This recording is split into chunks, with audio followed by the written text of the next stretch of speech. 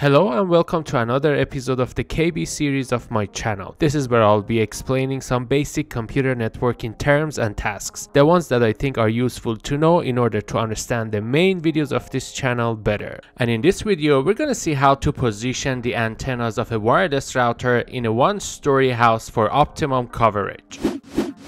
Wireless routers or access points usually have omnidirectional antennas, which means that when the antenna is positioned vertically, wireless signals travel in all directions horizontally, creating a shape similar to that of a donut around the antenna.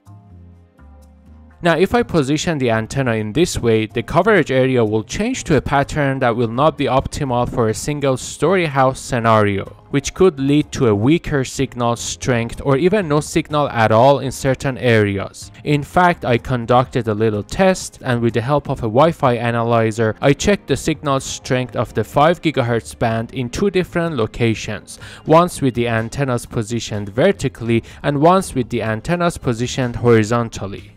In both locations I received stronger signals when the antennas were in a vertical position and as I moved further away the difference in signal strength became more and more significant.